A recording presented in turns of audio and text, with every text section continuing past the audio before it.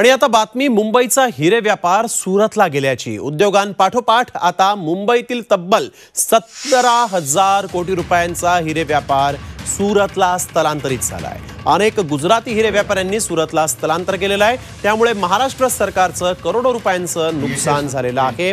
तब्बल तीन हजार चारशे कोटी रुपये खर्च करून डायमंड बोर्स हे जगातलं सर्वात मोठं हिरे व्यवसाय केंद्र सुरतमध्ये उभारण्यात आलं. हिरे व्यापाऱ्यांना आवश्यक असलेल्या सर्व सुविधा तिथं उपलब्ध करून देण्यात आलेल्या आहेत. दरम्यान विरोधकांनी या मुद्द्यांवरून आता सरकारवर टीकास्त्र सोडलंय. तर उद्योग मंत्र्यांनी त्यांना प्रत्युत्तर दिलं आहे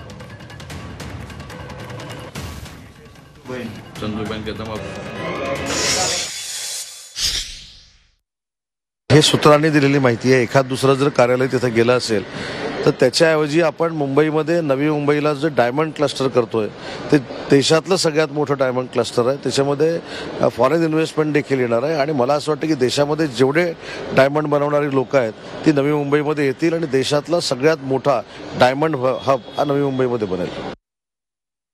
वाटलं की मिंदे भाजप सरकार काहीतरी महाराष्ट्रासाठी करेल. पण आमच्यापेक्षा जास्ती काळजी ह्यांना गुजरातची लागलेली आहे. पहिलं वेदांता फॉक्सकॉन असेल एअरबस टाटा असेल बलड्रग पार्क असेल अगदी वर्ल्ड कप क्रिकेट वर्ल्ड कपची फायनल देखील असेल जी वर्षानुवर्ष आपल्या वानखेडे स्टेडियमला व्हायची ती देखील गुजरातला नेलेली आहे. आणि काल आपण पाहिलं असेल हिरे बाजार तिथे नेला. नक्की हे सगळं का होतं आहे कोणाच्या आदेशावरनं होतं आहे हे सगळ्यांना माहितीच आहे तरी देखील हे सगळं बुलेट ट्रेन येण्याच्या आधी झालेलं आहे. आपण विचार करा बुलेट ट्रेनसाठी जागा बी के सीमधली महत्त्वाची जागा ही फ्री ऑफ कॉस्ट इथे त्या बुलेट ट्रेनला दिलेली आहे. आणि बुलेट ट्रेन आल्यानंतर कदाचित ह्या मिंदे भाजप सरकारनं मंत्रालय देखील गुजरातला हलवावंसं वाटेल आणि बी एम सी देखील गुजरातला हलवाविषयी वाटेल ते आम्ही होऊ देणार नाही. सह्याद्रीची उंची म्हणजे